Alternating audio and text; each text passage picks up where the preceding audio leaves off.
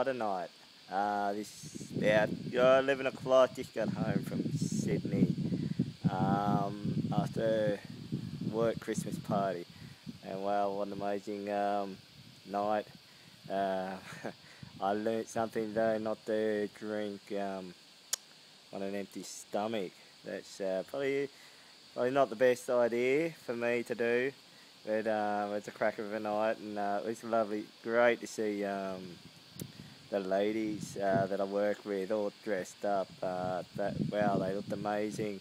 Uh, well, I'm so lucky. I uh, work with a, an amazing group of people, and um, yeah, the, the ladies they, they all look stunning. They all look beautiful, and uh, I, I, I I believe in life that um, I think uh, you got to tell the ladies too if they're beautiful, if they look beautiful. You got to tell them they're beautiful. Um, because um, it's amazing the smile on their face when you play pay a uh, anyone for instance a, a compliment. Um, the, the, they make you make them feel good, and I think uh, it's very important that um, in life, as I've gotten older now, I've grown. Uh, after the last uh, last four years, what I've been through in my personal life, being married, divorced, and um, been single now for a few years, and uh, I've got a lot of friends around me, and I guess I have a lot of friends because um, I've learned through life that it's important to treat other people the way you want to be treated. Um, that's very important. So I, I uh, really focus on treating other people the way I want to be treated. Um, I think that's that's very important, and um, and that and I get that in return.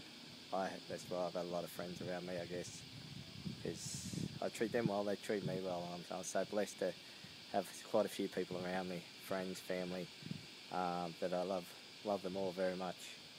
Um, and two, uh, like I have uh, two beautiful children and uh, I never never regret meeting uh, my ex-wife. You can never regret things in life. You might change things if uh, you know differently next time, the way you do things or whatever. But you can never regret doing. You should never regret things in life, and um, uh, because you can never change the past either. You always got to look uh, look forward. Like the past is history, and uh, you know, live for today.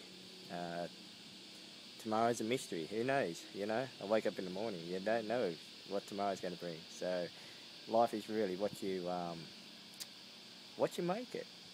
I believe that, and um, I, I follow that. I I believe that, and uh, one day I know I'm going to make a a lady uh, very happy, and um, because of my outlook in life, I've changed a lot. Like I say, over the last four years, and um, the way I think, the way I act, uh, I've grown on being, I'm nearly an old man, um, which isn't, which isn't something to be happy about. No, um, you're only old as you feel. I feel good. I lift weights. I train every day. Nearly.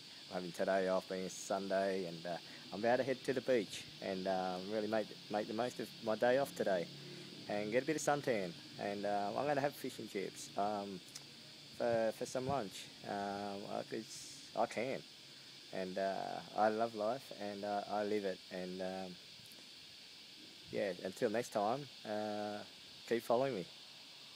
Bye.